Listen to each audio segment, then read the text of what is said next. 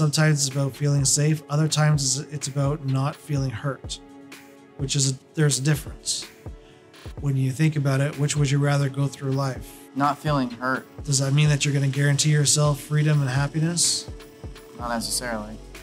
Let's say that you and your wife are driving. She's got a GPS in her because it's on her phone. You come to a stop sign. You're not quite sure where you are. Maybe you're in a different state. Maybe you're in Oklahoma or something. You've got a four way stop. Which way am I supposed to go? And she says, don't turn left. Does that guarantee you where you need to go? No, because I could go straight, I could go right, I could go back the way I came. All these different areas that are not um, bringing you closer towards your goal.